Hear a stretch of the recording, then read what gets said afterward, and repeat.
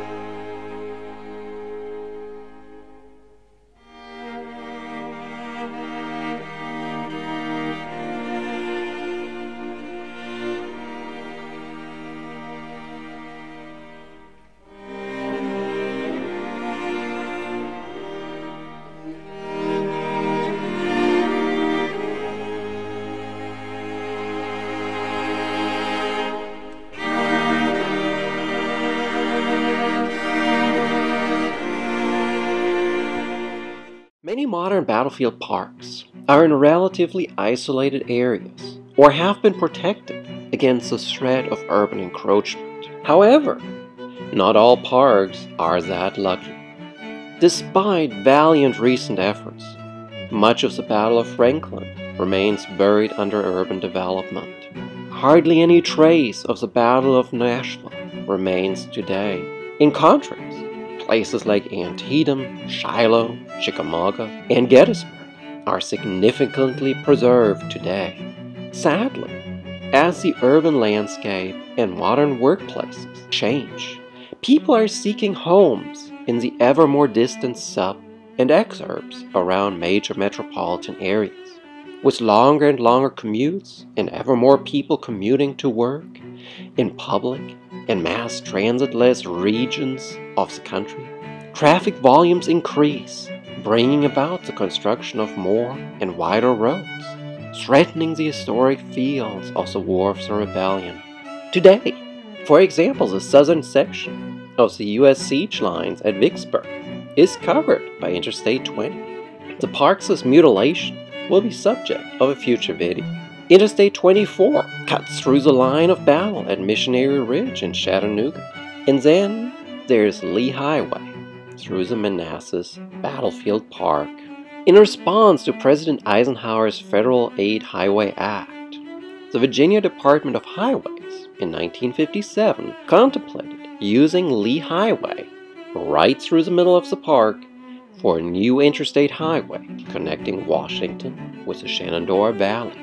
Park Superintendent Francis Wilshin requested more information to assess the impact of the road project on the park.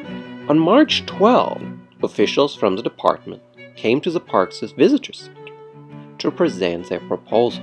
The plan called for a widening of Lee Highway to at least 300 feet to have significant room for the lanes, median strip, side strip, and service roads. Furthermore, the plan called for an interchange, Clover style, at Sudley Road, Route 234. The Clover Leaf intersection would have demolished the stone house. It was obvious that the plan would cause irreparable damage to the core of the park and cause a major intrusion on Henry Hill, destroying the stone bridge and stone house potentially even the New York Monument.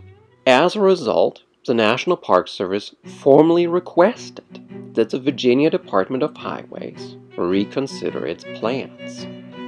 When the agency refused, Wilshin decided to bring public pressure. He addressed the Civil War Roundtable of Washington, D.C., which coincidentally met the evening of the state highway hearing. That evening, Bruce Catton was supposed to be the featured speaker, with 300 members present.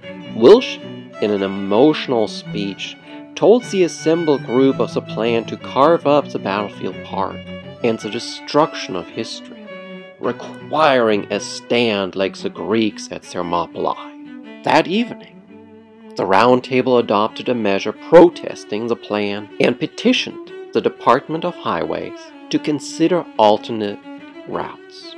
Besides sending this resolution to Richmond, the Round Table also sent it to 80 other roundtables to increase the pressure on the Virginia Department of Highways the campaign likely reached some 10,000 people.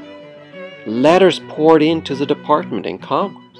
Wilshin continued his publicity campaign to protect the park with a number of, of additional speeches at other civic and patriotic organizations.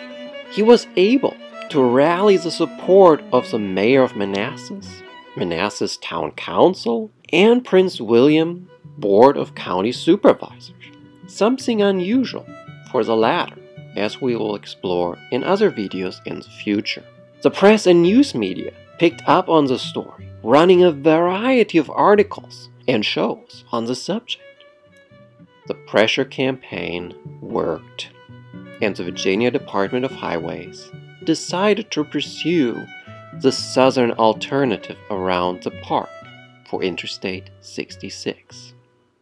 This was not the end of the problem, as in 1958, the chairman of the Prince William Board of County Supervisors resurrected the Lee Highway idea. In response, the park leadership went to Representative Howard Smith and made sure he understood the historic significance of the location and Lee Highway. They were able to do so and plans to build an interstate through Manassas National Battlefield Park died. Sadly, traffic problems and road widening issues continue to plague the park to this day. There was talk about widening Lee Highway and Sudley Road in the late 1980s, but the idea again came to nothing. It remains an ongoing battle, and the Shenandoah Valley has become a more recent battleground in the struggle between preservation and modern infrastructure needs. The Shenandoah Valley was one of the most fought over regions during the War of the Rebellion, with towns in the northern parts of the valley changing hands numerous times. By one estimate, Winchester changed hands some 70 times in the course of the conflict. By the mid 1960s, the tranquility of the, of the valley was rudely disturbed when construction crews came through to build Interstate 81. At the time, there were no battlefield parks protected by the National Park Service in the valley. The history of the NPS in the Shenandoah Valley remains tainted by the creation of Shenandoah National Park. The interstate cuts through the battlefields of New Market, Fisher Hill, Cedar Creek, and 2nd and 3rd Winchester, as well as touch on the battles of Kernstown, thus impacting some of the key battlefields in the Shenandoah Valley. In the early 2000s, the Virginia Department of Transportation and the Federal Highway Administration began planning for a widening of Interstate 81. The entire length of the interstate in the state was to expand from four to six lanes, with some urban areas getting even more lanes. Instead of cutting into the wide green median, the proposal was expanding the interstate outward, impacting even more property owners along the route, and of course, the battlefields, which were already suffering from the interstate's existence. The impact especially on Cedar Creek, would have been substantial, with not only the widening using battlefield lands, but also the changes required to the interchange with Interstate 66 to Washington. The Shenandoah Valley Battlefield Foundation, the Civil War Preservation Trust, aka our modern American Battlefield Trust, and the National Trust for Historic Preservation, among others, protested the proposal. Instead, they suggested a less intrusive plan with climbing lanes for trucks and longer acceleration ramps for traffic entering the interstate. Furthermore, the group suggested using the median for any improvement projects to not impact surrounding communities. It is not uncommon for DOTs to remove medians to expand interstates, such as along Interstate 20 in Alabama, for example. In the end, the state and VDOT took the suggestions and opposition serious and altered the plans to include these types of projects. As a result, the only widening that would happen near the Cedar Creek battlefield was an extra lane on the southbound side, which would only touch small parts of the early battlefield. There's no additional impact on the Fisher Hill battlefield. Also unimpacted was the New Market battlefield. In Winchester, however, the new plan called for a widening of the interstate between exits 313 and 317, which is where much of the Third Battle of Winchester transpired. Despite the untiring efforts of preservation groups and individuals like Jonathan Noyalas at the McCormick War Institute at Shenandoah University, little of the three battles of Winchester is preserved today. While the impact of the interstate widening in the Shenandoah Valley is much less invasive as initially planned, there is still some destruction. It is worth remembering that in contrast to Manassas, with a long established national military park and a significant historic oriented community, things are different in the Shenandoah Valley, where community and national park service continue to have a tenuous relationship.